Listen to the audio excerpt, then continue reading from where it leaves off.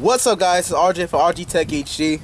Doctor for Nova Flames Gaming. We're unboxing the Hootoo VR headset. Let's do this.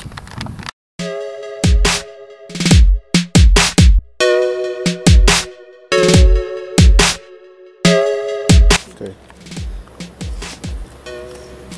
Alright, so I want to give a shout out to Hootoo for sending this out for a sample review. And also, I will be posting my article on this on TechDini, just so Hootoo knows. So that's the purpose of this review. I'm Actually, not unboxing, then the review. One side. Alright.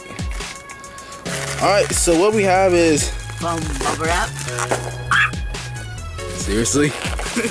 Alright. I think it sound good. Like, Alright, we also got this ticket. I'm not gonna show it. And here we have the headset. In all of its glory, upside down. There we go.